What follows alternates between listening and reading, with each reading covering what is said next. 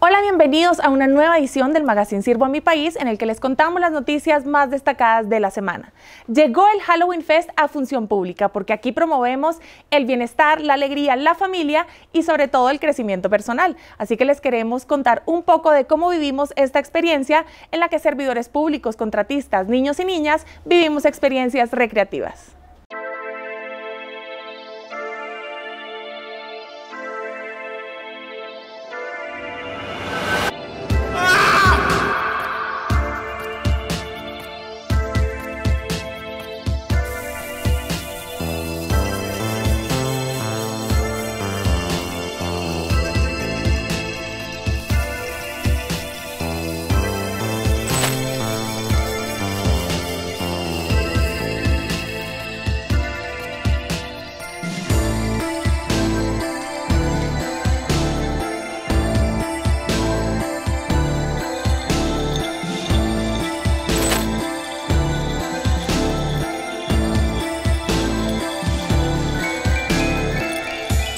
El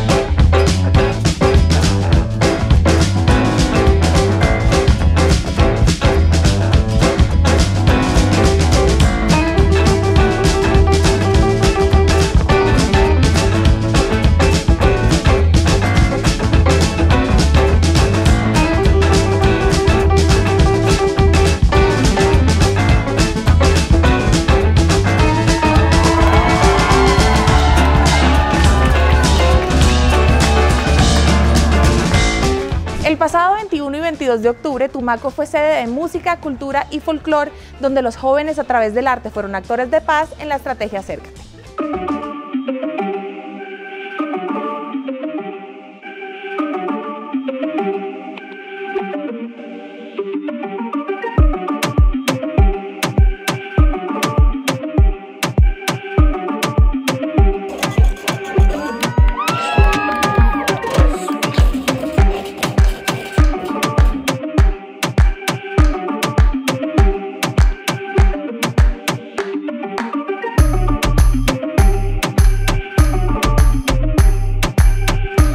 Jornadas, además de arte y cultura, estuvieron acompañadas por 29 entidades que estuvieron al servicio de la comunidad y resolvieron 4.500 trámites ciudadanos. Esto es lo que dicen los jóvenes artistas que nos acompañaron. Está generando así una nueva conciencia, los ricos no van a la guerra, los pobres se van en tierra del barrio, del barrio soy yo.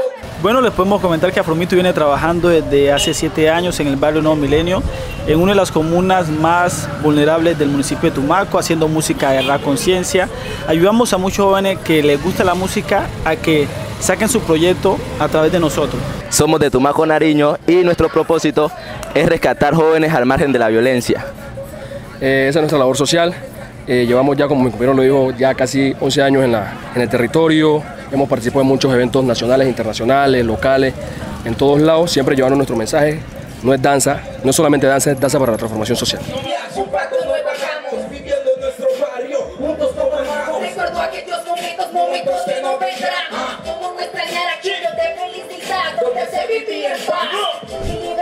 Hoy en 15 segundos con Pili nos acompaña Brigitte Quintero de la Dirección de Participación, Transparencia y Servicio al Ciudadano, quien acompañó el taller para prevenir y superar la estigmatización de personas en proceso de reincorporación.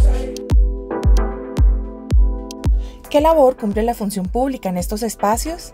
Función Pública eh, viene liderando una serie de acciones en el cumplimiento de la sentencia 020-2022 que buscan generar espacios para el diálogo, la participación, la inclusión eh, y la no estigmatización.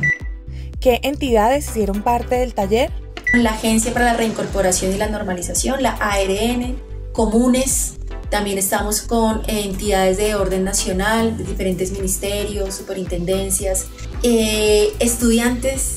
¿Cómo aportan estos espacios de transformación a la paz total?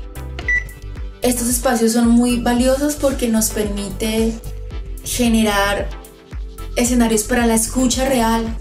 Y es que no es posible hablar de paz total si no nos permitimos escuchar Para terminar, en la cosa pública les tenemos todo sobre la participación de función pública en los dos congresos internacionales de talento humano.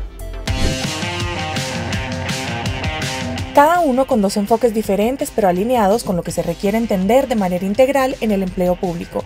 Por un lado, el sexto Congreso Internacional de Meritocracia, visto desde el fortalecimiento institucional de la gestión del talento humano en el sector público, donde se marcaron tres ejes fundamentales como son las competencias comportamentales, la integridad y la transformación digital, tanto en los concursos de mérito como en la gestión del talento humano.